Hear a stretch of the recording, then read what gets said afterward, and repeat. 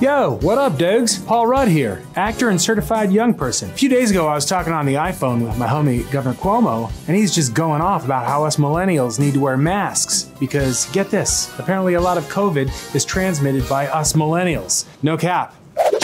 So Cuomo's asked me, he's like, Paul, you gotta help.